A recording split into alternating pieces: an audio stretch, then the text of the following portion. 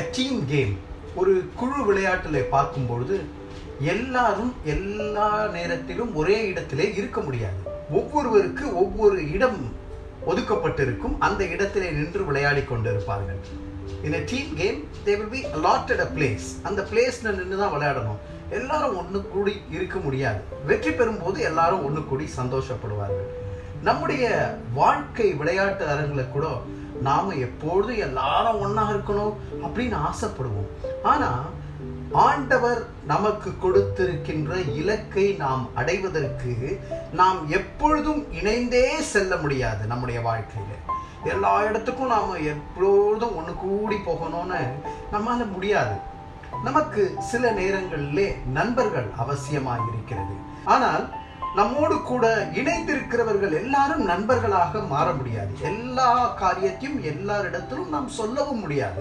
பிரியமானவர்களே ஆதியாகமம் பனிரெண்டாவது அதிகாரம் முதலாவது வசனத்திலே பார்க்கும்போது கர்த்தர் ஆபிரகாமை நோக்கி நீ உன் தேசத்தையும் உன் இனத்தையும் உன் தகப்பனுடைய வீட்டையும் விட்டு புறப்பட்டு நான் உனக்கு காண்பிக்கும் தேசத்துக்கு போ என்று சொல்லுகிறார். ஆனா அடுத்த அதிகாரத்துல பதிமூன்றாவது அதிகாரத்துல முதலாவது வசனத்துல பார்க்கும் பொழுது ஆபிராமும் அவன் மனைவியும் அவனுக்கு உண்டான யாவும் அவனுடனே லோத்தும் என்று சொல்லி வசனம் பார்க்க முடிகிறது. அவனுடனே லோத்தும் எகிப்தை விட்டு தென் திசையில் வந்தார்கள் என்று வசனம் சொல்லுகிறதை பார்க்கின்றோம். அப்ப லோத்துவும் அங்கே ஒட்டி கொண்டிருக்கின்றார் வாழ்க்கையிலே நமக்கு மூன்று விதமான இணைப்புகள் இருக்கும். நம்மை சுற்றி இருக்கக்கூடியவர்கள். ஒரு விதமான இணைப்பு ஒரு ஒட்டுணி என்று சொல்லப்படக்கூடிய ஒரு பாரசைட்டை போல.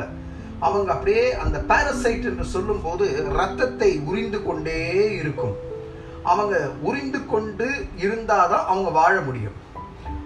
பாரசைட் ஒட்டுணி போல இருக்கிறான் பார். ஒட்டிட்டே இருக்கிறான் பார் அப்படின்னு சொல்லுவாங்க.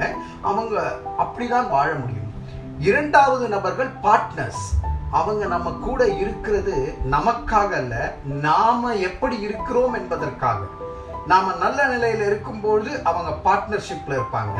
நாம விழுந்து போகும்போது நம்ம கூட தான் பயணித்திருப்பாங்க. ஆனா அவங்க திடீரென்று காணாமல் போயிருப்பாங்க. ஏன்னா they're not for you but they're for what you hate மூன்றாவது விதமான நண்பர் நண்பர்கள் வந்து பேஸ் மேக்கர்ஸ் அவங்க நம்மளை உற்சாகப்படுத்துறது போல இருக்கும் உந்தி தள்ளுவது போல இருக்கும். ஏன்னா அவங்க கிட்ட இல்லாதது ஒன்றை ஆண்டவர் நமக்கு கொடுத்திருக்கிறார். நம்ம உந்தி தள்ளி நாம உற்சாகமாய் வேலை செய்து உற்சாகமாய் வாழ்க்கையிலே வாழும்பொழுது நம்மிடத்திலிருந்து சுரக்கின்ற எல்லா ஆசீர்வாதத்தை எடுத்துக்கொள்வார்கள். அதுக்கப்புறம் அவங்க காணாம போயிடுவாங்க. சுரப்பு நின்ற பிறகு அவர்கள் இல்லை.